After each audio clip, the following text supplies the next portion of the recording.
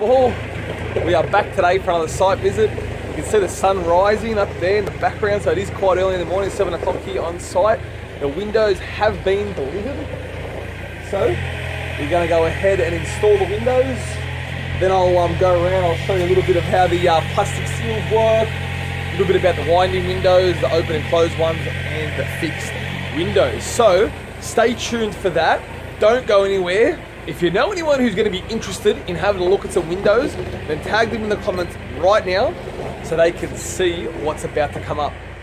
All right, guys, I'll flip the camera and we'll get into it. Right, so we've finished putting the windows in now. I can uh, show you what's going on a little bit here. So here you can see we got the uh, flashing, which is going to help stop the water from going in. So that'll get bricked in to the sills show you over here. We've got a few uh, few sliding doors, so you can see the uh, our cores being put on there as well. This is like the flashing, like we just looked at, just a little bit of a different method.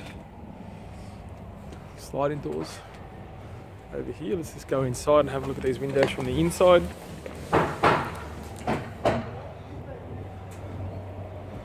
Alright, so here how the windows will finish. The gyprock will come up flush here and then they will put the architrave on there just like that.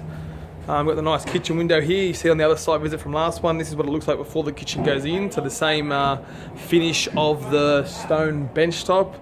Over here, we have a nice wide windows. It's a good idea to, you know, you want to get the windows nice and big as possible. Let as much natural sunlight in as possible.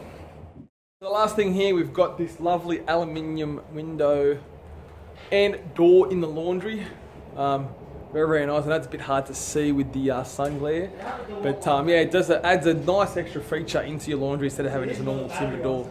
Um, all right, guys, thanks for joining me on today's site visit. If you want to go and check any other site visits we've done in the past, click around here.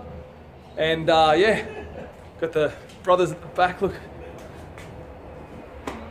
All right, thanks for joining me. Bye for now.